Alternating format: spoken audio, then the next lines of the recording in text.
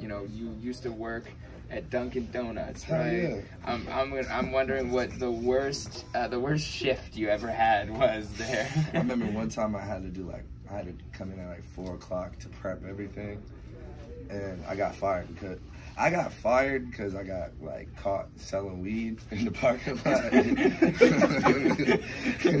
Were you making more money from selling weed than Dunkin' Man, Donuts? I don't know what you're talking I about. mean, I, yeah, allegedly. yeah, but nah, I got caught doing that, and then I didn't come. I, one shift, it was like 4 a.m. shift. I was like, man, I'm missing this. it's just too much.